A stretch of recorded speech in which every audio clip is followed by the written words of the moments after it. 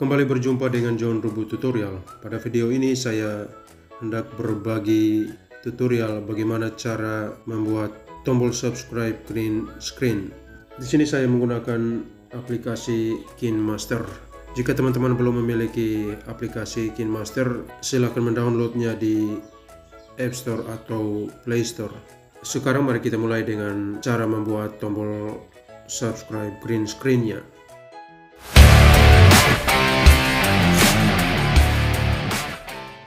Kita buka aplikasi KineMaster, kemudian kita pilih tanda plus di sini untuk membuat project baru.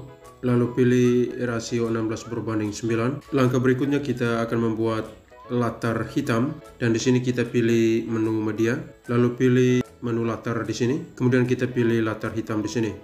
Langkah berikutnya kita mengganti latar hitam ini dengan latar hijau. Caranya kita pilih saja pada bagian latar hitam di sini. Kemudian kita pilih pada menu di bagian ini. Lalu kita pilih latar hijau. Kemudian kita coba cek, kita pilih pada menu yang ini. Di sini pastikan warna merah dengan simbol huruf R di sini di angka 0. Di angka 0 seperti ini. Kemudian juga pada warna biru dengan simbol huruf B di sini, blue, itu juga di angka 0. Kemudian pada warna hijau di sini dengan simbol huruf G, kita geser ke angka maksimal. Kita geser sampai di angka 255. Kemudian kita pilih tanda centang di pojok kanan atas. Kemudian kita pilih tanda centang di sini. Lalu kita pilih tanda centang di pojok kanan atas. Langkah berikutnya kita akan membuat kotak berwarna merah dan caranya di sini kita pilih menu lapisan, lalu kita pilih pada tulisan tangan, kita pastikan pada bagian ini berwarna merah, kemudian kita pilih di kotak yang ini. Selanjutnya kita pilih yang ini. Langkah berikutnya kita kita klik pada area kerja, kita klik tahan lalu menggeser. Contohnya demikian. Kemudian kita pilih tanda centang di pojok kanan atas. Langkah selanjutnya kita akan menambahkan teks subscribe.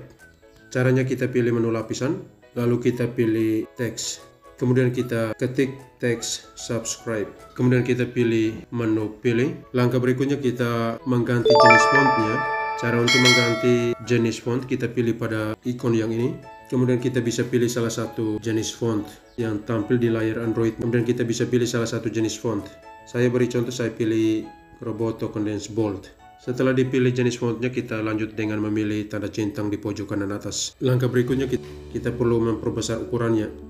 Caranya klik saja pada anak panah terbalik. Kita klik tahan lalu menggesernya seperti ini. Kita sesuaikan ukuran dengan kotak persegi panjang berwarna merah tadi. Kemudian kita pilih tanda centang di pojok kanan atas. Langkah berikutnya kita akan menambahkan kursor. Caranya di sini kita pilih menu lapisan, kemudian kita pilih stiker, kemudian kita tambahkan kursor.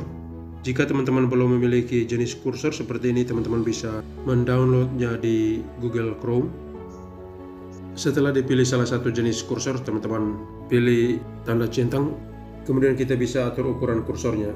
Caranya klik saja pada tanda panah terbalik, klik dan tahan, lalu digeser seperti ini. Kemudian pilih tanda centang di pojok kanan atas. Langkah selanjutnya kita akan menambahkan efek suara kursornya.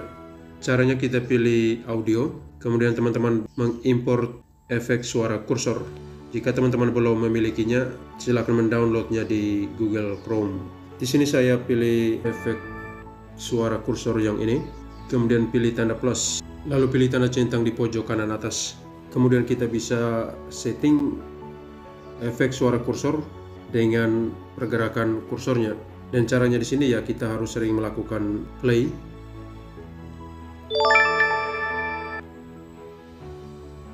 Jika sudah dipastikan efek suara kursor dengan pergerakan kursornya, kita bisa lanjut dengan memotong bagian kanan dari setiap item yang ada di sini.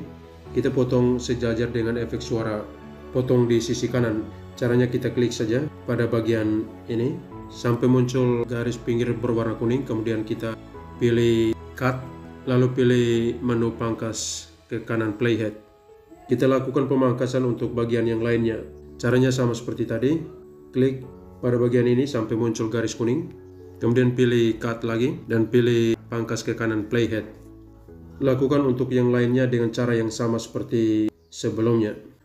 Jika sudah melakukan pemangkasan, kita coba play lagi. Dan sebelumnya pilih tanda centang di pojok kanan atas. Langkah terakhir kita perlu menyimpan project yang kita buat ini.